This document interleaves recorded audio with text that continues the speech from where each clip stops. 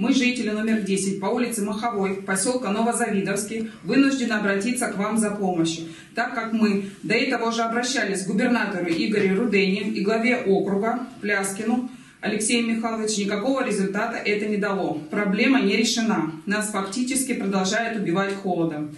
Это какая-то пытка и уничтожение населения в 100 километрах от Москвы мы просто замерзаем от холода. У нас здесь вроде нет боевых действий, но живем мы как в блокадном Ленинграде. Поэтому мы решили обратиться к вам за помощью как в последнюю инстанцию. Еще в сентябре месяце мы начали бить тревогу, так как наш дом отключили от старой котельной и подключили к другой, которая отапливала весь район. Еще тогда мы говорили, что ее мощность не хватит э, для того, чтобы отапливать наш дом.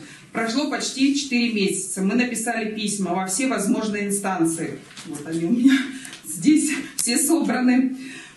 И по итогу сейчас мы просто замерзаем. В наших комнатах температура плюс 4, плюс 10 градусов. В то время, когда на улице минус 30. Мы, чтобы не умереть, отапливаемся всем, чем только можно. Когда в каждой квартире стоит по несколько обогревателей и тепловых пушек, мы не спим ночами, чтобы, не дай бог, не случилось короткое замыкание, и мы все не сгорели. Владимир Владимирович, скажите, справедливо то, что сейчас все чиновники ответственны за это сидят в своих теплых и уютных домах, а мы, наши дети, старики, боимся замерзнуть насмерть. Скажите, зачем нам нужны такие государственные органы, как МОПы, местная администрация, администрации районов и областей, ГЖИ, если все они бездействуют? Все эти инстанции в курсе нашей проблемы, но результата никакого нет.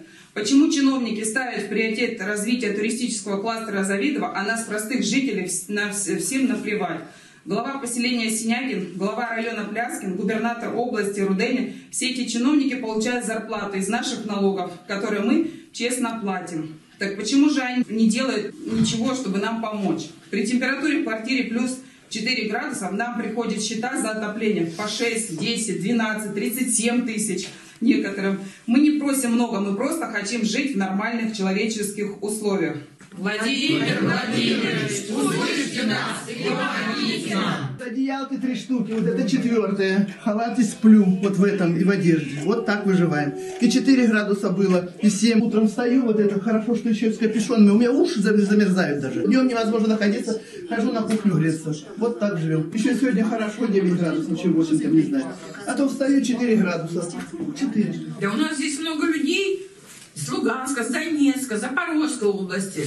Лучше в подвалах жили, там и то лучше. А здесь, я не знаю, как, только что они бомбят. Я работаю с 8 утра и до 5. У меня обогреватель выключен.